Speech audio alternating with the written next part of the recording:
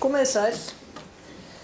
Ég ætlaði að tala um erlend áhrif á stjórnarskrá konungsríkisins Íslands frá 1920 og það sem að ykkur er kannski mörgum ofar í huga af hverju skiptaðu máli.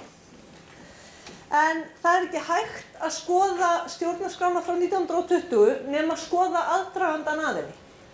Og eins og þið munið sjálfsagt öll úr mentaskóla og annar staðar þá lauk einveldinu í Danmörku 1848 og þá vaknar upp svo spurning hver á staða Íslands í ríkinu að vera.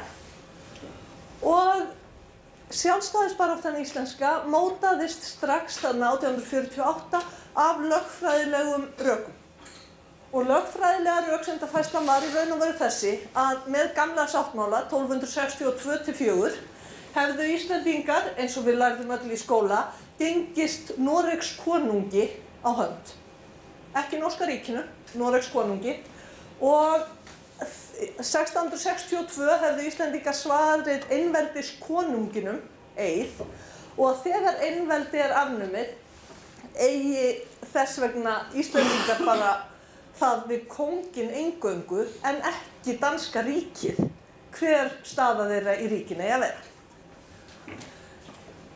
Það er svolítið skemmtilegt að strax í greininni hugvekja til Íslandinga sem að Jón Sigursson byrti í nýjum félagsritum 1848 þá fer hann skemmtilega frjálslega með réttasöguna og hérna notar samanburð við önnur lönd til að byggja upp þessar rauksendafæslu.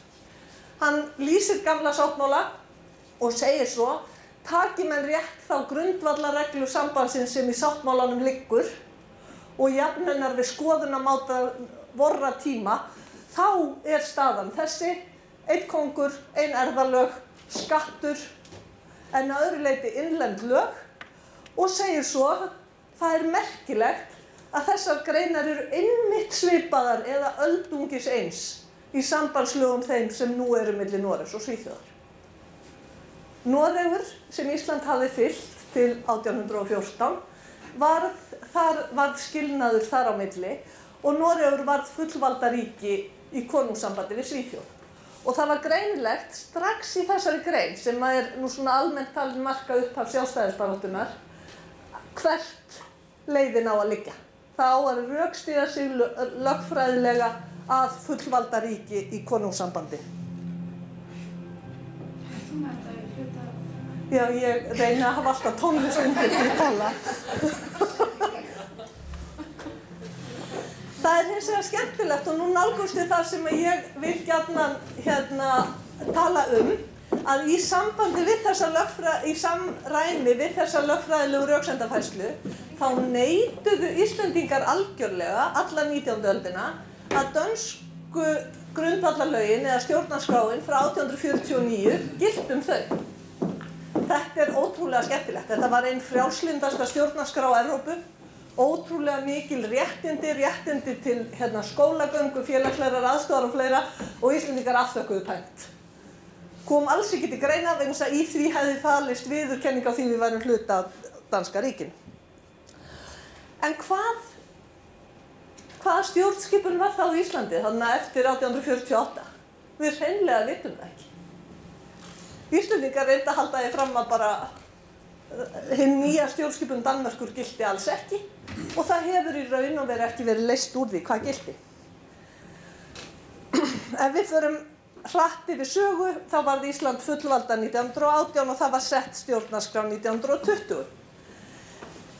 Eins og ég nefndi þá var hort víða í sjálfstæðisbaráttunni og meðal annars mikið á samband Norris og Svíþjóðar og árin rétt fyrir fullveldi var, það eru mörg hundruð tilvísanir í konungssamband Norris og Svíþjóðar í íslenskum blöðum, þingskjölum, þingræðum og fleirum. En það sem er svo merkilegt er að þegar koma stjórnarskrárgerðinni sjálfri þá var bara hort til Danmörkur. Íslenski fræðimenn og þarna vísa ég Gunnar Helga Kristinsson en þeir eru fleiri telja að íslenska stjórnarskráin eða það hafi engin íslensk stjórnarskrá verið líkari gildandi danskri stjórnarskrá heldur en stjórnarskráin frá 1920. Þannig að það var barist í 70 ár fyrir fullveldi, sett stjórnarská fullvaldaríkis og hún var eiginlega alveg eins og svo danska. Þetta finnst mér áhugaverst, vegna að það var beinlinis breytt í það átt að gera hana líkari þeirri dansku. Danska stjórnarskráin var eina beina fyrirmyndin og það sem að þetta sýnir að minnst að kosti mér er að fólk var ekkert að hafa áhyggjur af stjórnskipuninni. Fólk var að hugsa hvar valdið læg. Og þarna komum við þá að því af hverju þetta skiptir máli og hefur eitthvað erindi við okkur núna. Það er vegna þess að þetta sýnir á 19. öldinni alveg eins og kannski og 20. alveg eins og kannski að sumuleiti ennþá var áherslan á það hvar valdið ætti að liggja. Spurningin var, eru það íslenskir embættiskarlar eða danskir embættiskarlar sem eiga að taka helstu ákvarðanir? Hvar á valdið að liggja? Og það var alveg hort fram hjá öllum stjórnskipulugum atriðum öðrum. Og þetta sýnir líka að sjálfstæðisbaráttan var nákvæmlega það. Það var ekkert verið að kvarta yfir stjórnskipun Danmerkur. Það var verið að kvarta yfir því aftur hvar valdið lægi.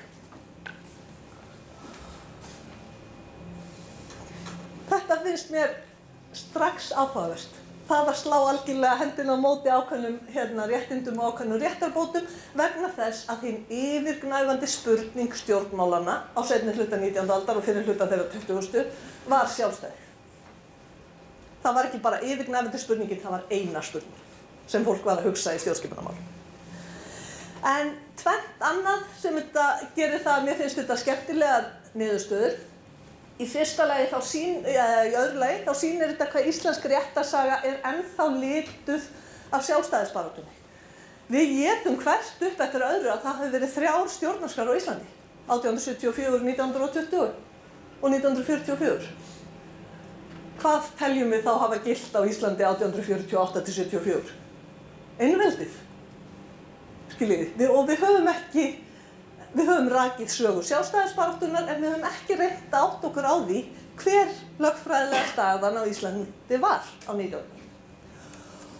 Og í síðasta lagi þá sýnir þetta hvað íslensk stjórnskipun er alveg frá upphafi lituð af því sem er að gerast í alþjóðamálum á sviðinu.